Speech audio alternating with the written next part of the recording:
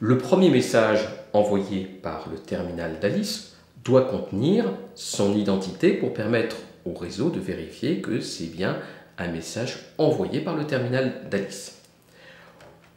On pourrait utiliser l'IMSI, International Mobile Station Identity, mais comme on est au début des échanges et que ces échanges se font en clair, cela permettrait à quelqu'un qui écoute la radio de savoir que c'est Alice qui appelle. On ne met donc pas l'IMSI, mais le TMSI, Temporary Mobile Subscriber Identity. Il y a un ensemble de séquences vidéo qui présentent les fonctions de sécurité où on explique le TMSI. La réponse est donc vraie.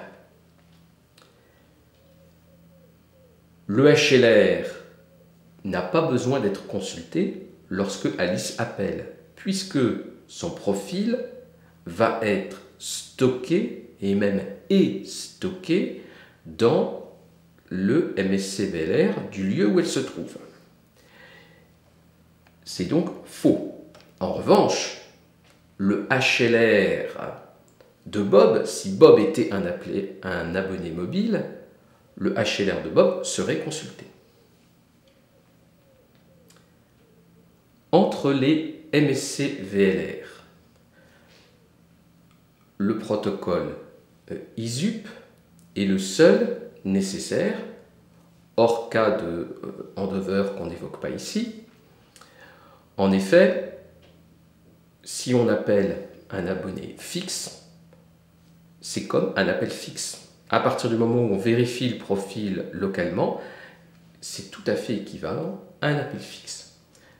La réponse est donc vraie. Le HLR est une base de données. En aucun cas un commutateur. Il ne fait passer aucune communication.